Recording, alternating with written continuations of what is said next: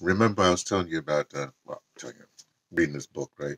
Well, it's like a reference book now to me. Just through October, I just be breezing through it. I got to take some train rides. So you know, it's like big letters, blah, blah. You know, it's like that. But, you know, um, he was doing the beginning of the book, he was doing a whole case study on the, uh, on Georgia and this guy Kemp. Don't matter what they, it don't matter what people's names are. They all the same. You know what I mean? And, you know, he's talking about, we were talking about, say we, I mean, you and I, we studying this book together. Right? We, uh, well, for instance, you have all these things, ways to kick people off the ballot. Uh, just a second, take my drink water in the morning, you know.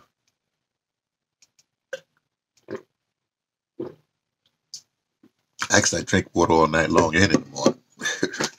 um, like, for instance, here's the here's the, the U.S. Election uh, Assistance Commission states the U.S. Elections Assistant Commission. Who knew they had such a thing? Within the implementation, within the implement, within the implementation of the NVRA, that's the National Voter uh, Registration Act in 1994. That's Bill Clinton's time, isn't it? Mm. States are required to have evidence that a citizen is no longer living in the jurisdiction where they were registered before removing him or her from the registration rolls. Okay, then he goes this whole thing about people being removed, you know, all kinds of things, you know. Um, uh, how do you get removed easy? Like, like for instance, uh, Kemp, uh, uh, uh, this guy, Kemp, he, he ignored a whole bunch of regulations. He, he show you what I mean. Uh, uh, so how did uh, so how did Kemp know uh, you moved and moved out of the uh, out of the county? The answer: He didn't uh, uh, hold on a second. You don't vote in two elections. Oh, he did it because person didn't vote in two elections.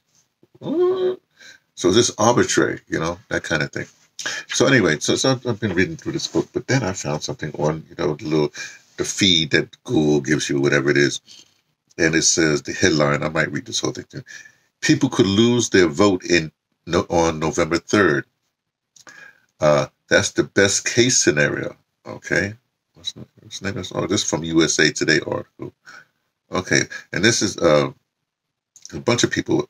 Pat Briall of USA Today, and then they use a whole bunch of people like uh, I just think Catherine, uh, Jackie, Elizabeth, and Asim.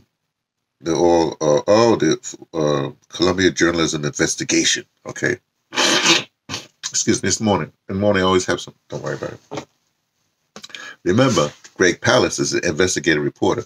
Now, you have all these people in the Columbia Journalism, whatever it is, right?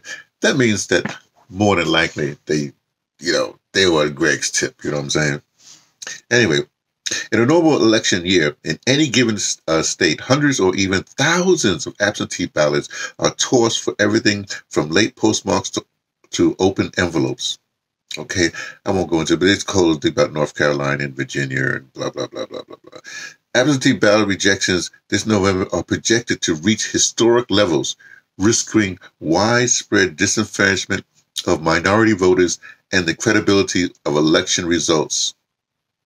A USA Today Columbia Journalism investigation and PBS series Frontline investigation found that they have this picture of a big old, I guess, see a big old pallet of, of ballots and stuff like that. You see that big old pallet of ballots, a pallet of ballots. Hey, poet, poet in the morning, poetry in the morning. It's good for you.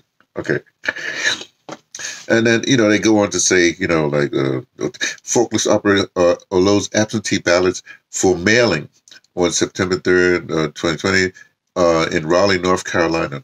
Now, they say at least 1.3 million absentee ballots could be tossed if half of the nation votes by mail. Now, you know, during COVID, a lot of people going to be voting by mail.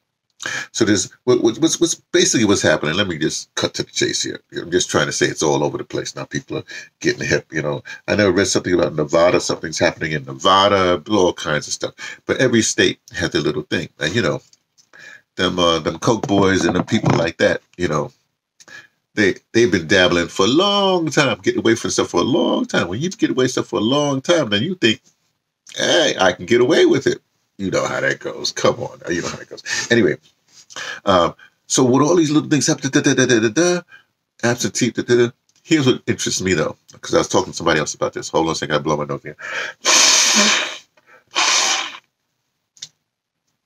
I believe in snot rags. Throw them in the wash, you know, little clinics. You know, uh, okay, okay. So here's the deal: when Trump, everybody don't know why people don't understand that Trump is smarter than you realize. When Trump said, you know, do your mail and do your mail in balance, but show up to the polls, right? Remember, a lot of his people in the rural areas, so they have just they have distancing is easier, you know, blah blah blah blah. We won't get into all that right now. But here's the thing: you know, that's a smart move because that means his troops will be out there, you know, at least at the polling places. So, you know, they can they could do their bullying thing or whatever they could do. See what I'm saying? So all I'm trying to say, this boy is more strategic than you do. And plus it sows what we call confusion. Well, no, we call it Mr. Neely Fuller Jr. Uh, he calls it confusion. The more confusion you have, the more the racist white supremacists get their way. That's just the way it is. We're in America. Better understand this, you know. Ooh, I coughed and I coughed into my hand. Do you know there's some viral thing going on right now with Joe Biden coughing into his hand? Man, that is over. I don't know what I don't know what they're doing. Anyway, this is hilarious. Election season. I'm personally, you know, because I know what I'm doing because I love to vote. And me writing in is wonderful. So I'll be writing in, you know, www.producejustice.com is one of my things. Then, you know, if, if I look around, I might write in www.ados101.com. One of the two, both of them, you know, alternating, whatever it is. Especially, I gotta vote in Virginia. I better find out.